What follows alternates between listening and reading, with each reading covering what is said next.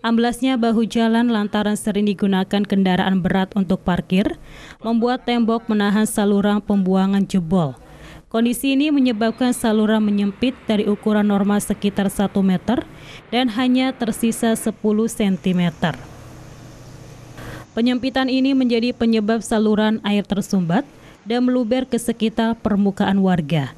Kadus 01 Desa Gebang Kulon, Wandi Nur Faisal mengatakan, Jalan tersebut sebenarnya belum memiliki kekuatan yang penuh untuk menahan beban berat apalagi kendaraan-kendaraan besar. Dirinya pun menyayangkan seringnya bahu jalan tersebut digunakan untuk parkir kendaraan truk besar. Bahkan setiap kali hujan besar, 100 rumah sering terendam banjir. Ia pun menyayangkan belum ada upaya serius dari dinas terkait.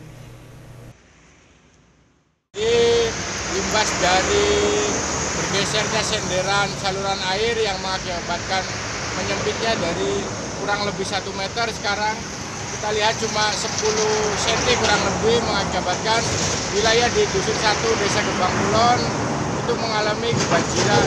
Hujan sedikit saja mungkin bisa menyebabkan kebanjiran. Ya, saya harap untuk pihak-pihak terkait untuk segera melakukan tindakan karena ini sifatnya darurat atau urgent. Sementara pemerintah Desa Gebang Kulon mendesak Kementerian PUPR segera melakukan peninjauan dan langsung melakukan perbaikan saluran irigasi pembuangan. Hal itu agar ratusan warga yang ada di Dusun 01 Desa Gebang Kulon tidak lagi menderita karena rumahnya terendam banjir. Wahibisana, RCTV, Cirebon.